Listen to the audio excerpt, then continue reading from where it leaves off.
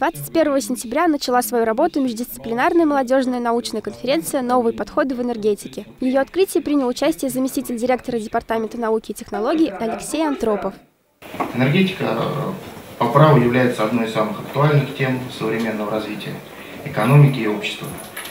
Развитие энергоэффективности, ресурсосбережения, альтернативные подходы в области энергообеспечения являются залогом устойчивого развития страны. Междисциплинарная молодежная научная конференция является уникальной площадкой для молодых ученых, которые имеют здесь возможности ознакомиться с самыми последними достижениями в области энергетики, узнать о современных направлениях ее развития. Также на конференции выступили именитые профессора известных университетов. Каждый из них стремился подчеркнуть свой уникальный вклад в научный форум «Наука будущего. Наука молодых», а также открыть студентам Казанского федерального много нового.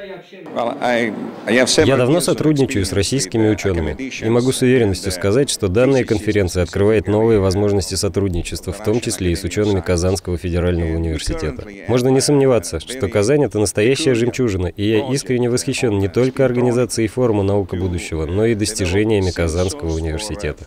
На несколько часов КФУ стал настоящей платформой для обсуждения широкого спектра отраслевых проблем. Несмотря на то, что ученые приехали в КФУ совсем недавно, они уже готовы поделиться первыми впечатлениями о форуме и работе старейшего вуза России. И здесь развивается такой комплексный сказать, подход, здесь самые разные науки.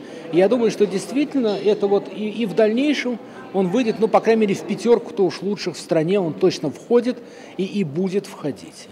Стоит отметить, что в программу конференции вошли такие актуальные темы, как химия и биология для энергетики, а также ядерная физика, которая вызвала у студентов КФУ особый интерес. Юные исследователи не упустили возможности посетить занятия, в котором одновременно принимают участие несколько профессоров, ведь такая возможность выпадает нечасто. Анна Шеймуратова, Адель Мухаммедшина, Руслан Уразаев, UniverNews.